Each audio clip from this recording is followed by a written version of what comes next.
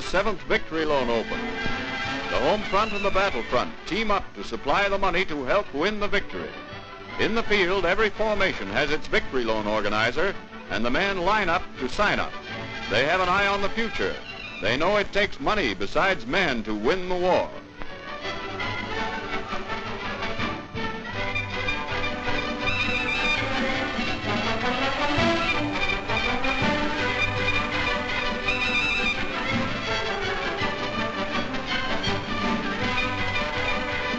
Even in hospital they are lending their money. Captain William Grayson, MC, who went to France on D-Day, buys a bond.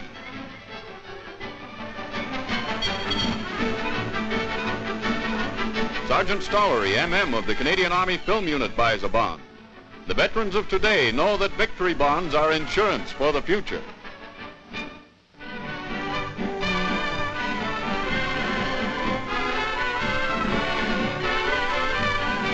Eminence Cardinal Villeneuve arrives at an airport in the United Kingdom. He is welcomed by Major General Montague, Air Chief Marshal Sir Frederick Bowhill, and a group of dignitaries of the church and senior chaplains of the forces. At London's Westminster Cathedral, a church parade is held for Canadian Roman Catholic personnel.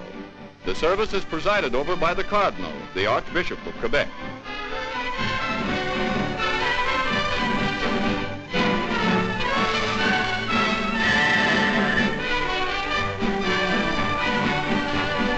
Cardinal Villeneuve has stopped off in England on his way to the Holy See in Rome.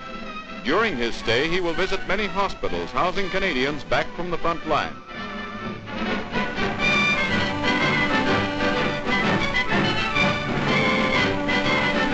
In Camp Borden, Ontario, a group of members of the United Automobile Workers Union from Windsor and Oshawa pay a visit to the men of the Canadian Army. Trading factory overalls for the black coveralls and berets of the Canadian Armored Corps, the workers see at first hand the use made of the machines they themselves have built.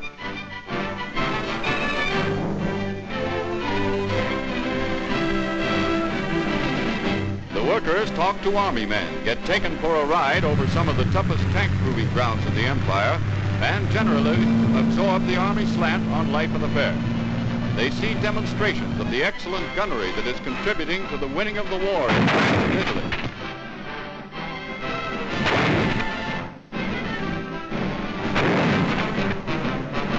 The visit gives war workers a chance to live the Army life for a few days, and that includes sampling Army chow. Arranged by the Department of National Defense and the Wartime Information Board, the bugle call replaces the factory whistle for three days packed full of interesting experiences. A complete tour of the great training camp gives the workers added incentive to put that last ounce of energy into the production line. The energy which will keep the wheels of victory rolling at top speed.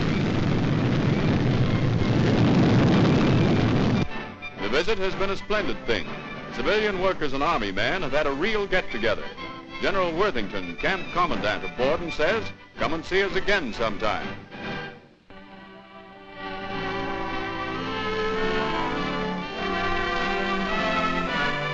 Piedmonte area, Lake Matisi, one of the highest lakes in Italy, is the scene of an unusual religious ceremony. Canadian servicemen of the various Protestant denominations and the Church of England take part in mass baptisms. Padres of the United Church of Canada and the Church of England preach and baptize according to the laws of their churches. Anglicans congregate in a site appropriately called Westminster Abbey. Colonel J. Logan Vencta addresses the Presbyterians in what they call St. Giles Cathedral. Other groups include the Lutherans, Mennonites, Pentecostal, and Dutch Reformed.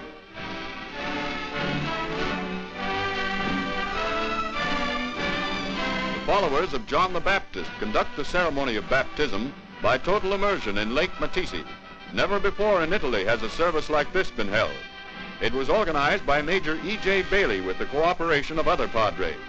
470 Canadian soldiers were baptized. A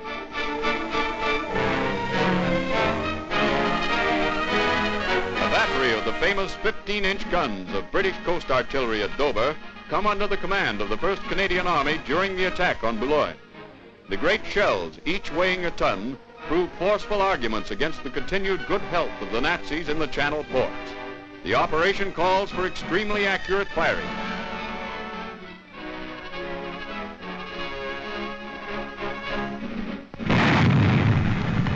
Reversing the usual method of artillery support, the guns fired toward the Canadian troops.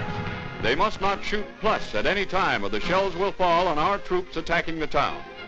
Veteran Coast Defense artillerymen have had years of training in Hellfire's Corner to prepare themselves for the job.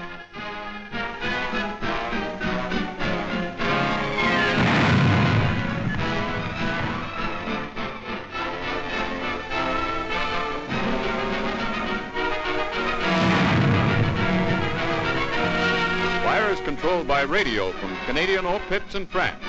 The great shells from Dover land with pinpoint accuracy on enemy strong points outside the town. The way is thus well prepared for the Canadian armor and, and infantry to mount the final all-out assault.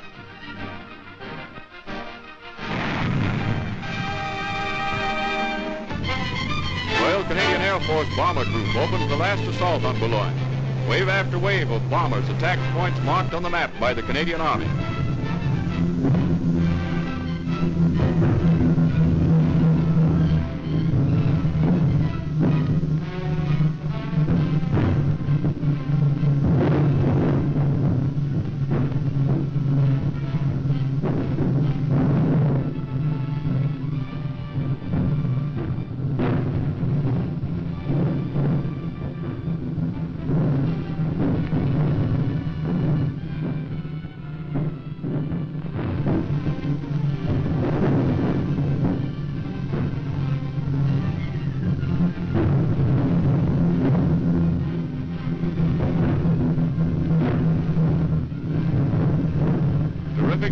Caused by our bombing and artillery fire. One after another, the Nazi strong points are cleaned out. They only give in after putting up a terrific struggle. Orders from the Fuhrer say, fight to the last man. It's a case of taking the town by storm the hard way. The tide of battle is finally turned in our favor by a concentrated attack of Canadian armor. What is left of the town is demolished by its defenders before they surrender.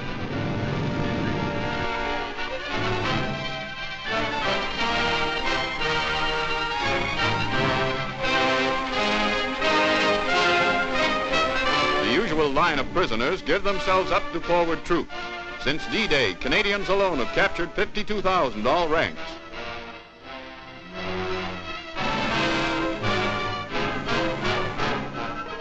Johnny Canuck is a popular figure with the natives.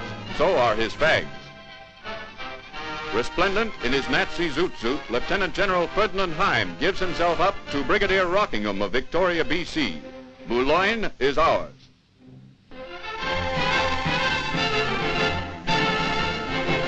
Role of the 1st Canadian Army during the past few weeks has been to clean the Jerry's out of the Channel ports. It's a slow and bitter drive, but one by one the ports are captured. Many solid fortifications which have taken the enemy years to build fall into our hands. It might have been a pleasant country estate of some rich Frenchman, but behind the gay exterior, a strong port is disclosed.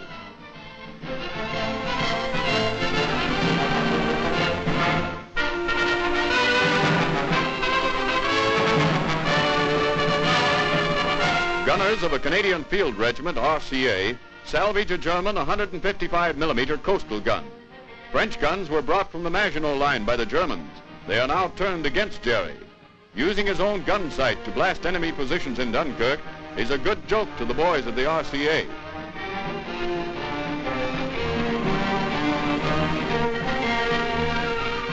The Newport Beach area has been one of the greatest menaces to the Channel shipping. Now it's a menace to the garrisons who still hopelessly hold out against the Canadian Army.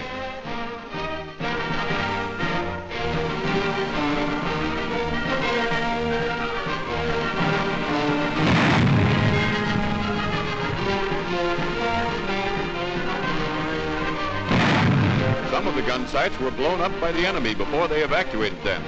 Well camouflaged, they are guarded by concrete emplacements many feet thick.